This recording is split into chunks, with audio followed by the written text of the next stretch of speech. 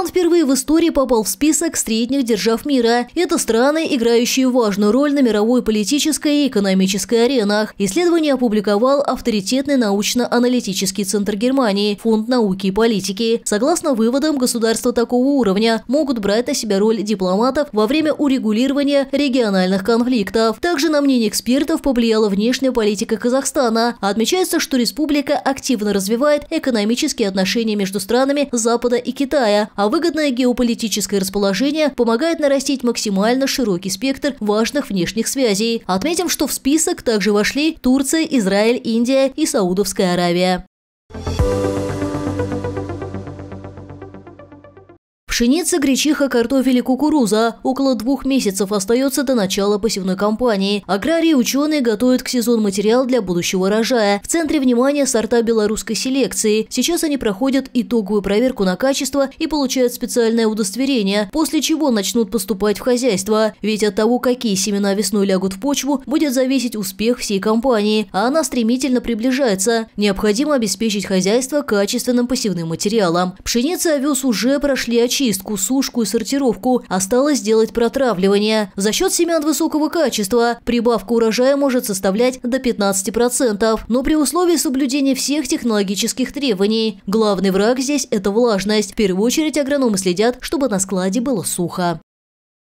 Рекомендации и по сортам, и по возделу обновляются ежегодно. И э, немножко мы уже смотрим по климатическим условиям и рекомендуем хозяйствам обращать внимание, с каким сортом, как работать.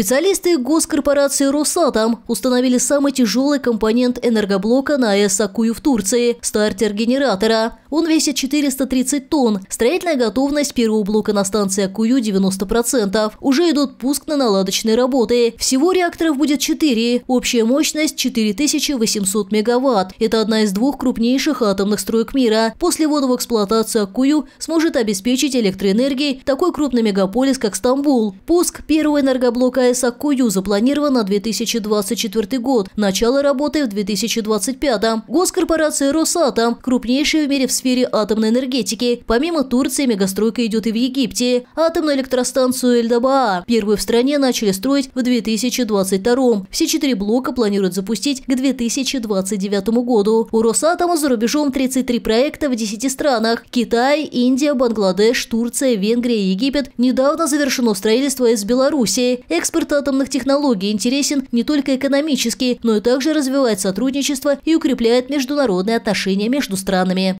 Корпус реактора – это своеобразное сердце, разгоняющее кровь э, по станции. А кровь это питает мышцу, мышцу, э, турбину и генератор.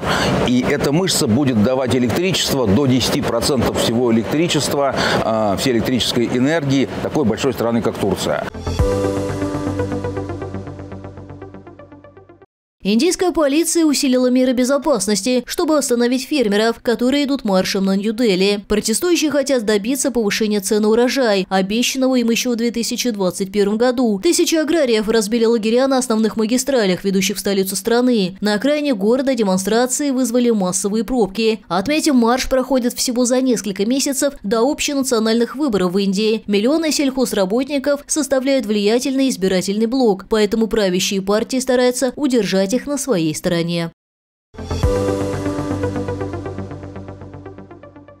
Европейский Союз выделяет Мавритании 210 миллионов евро. Средства должны пойти на борьбу с незаконной перевозкой людей и сдерживание потока нелегальных мигрантов. Глава Еврокомиссии Урсула фон дер Ляйн прибыла в столицу Мавритании Нуакшот, чтобы озвучить позицию Брюсселя. Мавритания, приютившая 150 тысяч беженцев, превращается как в транзитную зону, так и в конечный пункт назначения мигрантов.